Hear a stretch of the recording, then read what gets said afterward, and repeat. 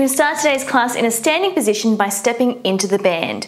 So just take the band around both legs, stepping in and bringing it up just above the knees, resting on your thighs. We're going to take the legs a little wider than hip distance apart and turn the toes out slightly. Coming into our squats. So make sure that core is nice and strong. You're going to sit your bottom back like you're sitting on a chair, reach the arms forward, sit down low, Peek down, make sure your knees are behind your toes and they're tracking over the second toe. Lift up and lengthen, and as you do, just slightly tuck the pelvis, squeeze your glutes, and come into a nice tall neutral position. Sitting back and then squeezing back up. Good. Keeping the band in the same position just above the knees. Keep pressing the knees out to make sure they track over those second toes. Okay, we're gonna have to work against that resistance and keep the knees tracking. This is great for your knee stability by working those external rotators. Good, let's do 12 more like this. 11. Just try lifting up your toes as well. Should be able to lift your toes off the ground. The weight is back in the heels. Good.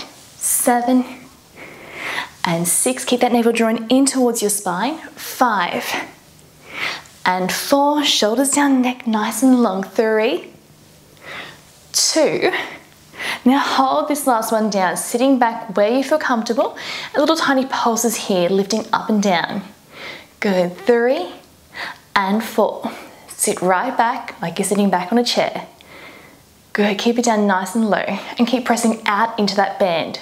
Turn the knees out nine, eight, seven, and six, five, four, three, two. We're staying down nice and low and holding here. Now, externally rotate from the hip, press that into your band, butterfly the knees, come back to your original position. It's just an inch or two. It's a small movement, holding that squat. Four, five, six, seven, eight, nine, 10, just 10 more, squeeze every time, press. Eight, nice controlled movements, slow, evenly paced. Press out five, four, three, two, hold here.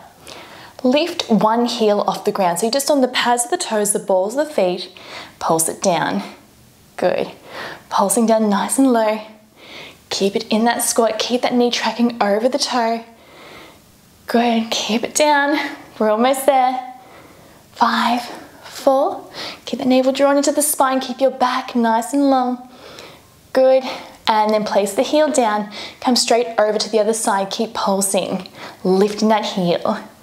Five, six, seven, eight, nine, ten. Just ten more. Nine, eight, seven, and six, five, four, three, two, and one. And stand up nice and tall, pressing that heel back down into the ground. We're now going to bring our feet back into the center. Feet are underneath your hips. We're sitting down nice and low, back into that squat, sitting back towards your chair. Now shift your weight slightly over towards your right. The right is the stabilizing leg.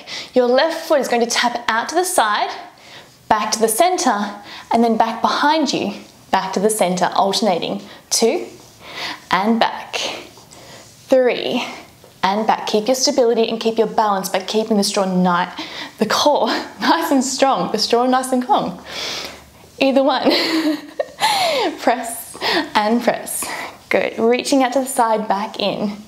Nine and 10. Let's do 10 more like this. 10 and back. Nine and eight, seven, and six. Just five more, keep it going. And four, good, three, two, last one. Now reach it out to the side and hold. We're just gonna stay down in this nice squat position, lift to the side, two, three little pulses, four, five, six, seven, eight, nine, 10, just 10 more lifts, squeeze, nine, eight, seven, keep your stability and your control. Good, keeping that balance. Three, two, and one. Slide it back in, lift up nice and tall. We're going to do that same thing on the other side. So just coming down nice and low into that squat. Abs are tight, shoulders nice and open. Just tap it out to the side and then back. Two and back. Good, just nice quick taps, focusing on our balance and stability here, using the stabilizing muscles in that supporting leg. Reach. And five, six, seven, drawing the navel into the spine, eight, keep the shoulders down and away from the ears, and 10. Just 10 more, reach, nine, and reach, eight to go, seven, and six, keep that collarbone nice and wide, just five more, and four, Three to go. Two. Last one, reach to the back, reach out to the side and hold. Now focus on your stability here, just pulsing up to the side. Three. Correcting your balance every time. Press, press.